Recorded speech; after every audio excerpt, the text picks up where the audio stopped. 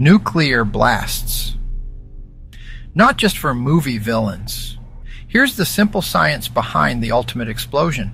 Imagine billions of tiny Legos snapping apart fast. That's what happens inside a nuclear explosive.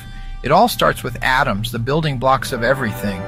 But inside some atoms, like uranium or plutonium, there's a crazy amount of energy just waiting to get out. When you split one of these atoms, boom, it releases a ton of energy and more tiny particles. Those particles smash into other atoms, splitting them too. It's like a chain text message, but instead of gossip, it's pure power spreading everywhere. All those tiny booms happening at once, that's what makes a nuclear explosion so massive.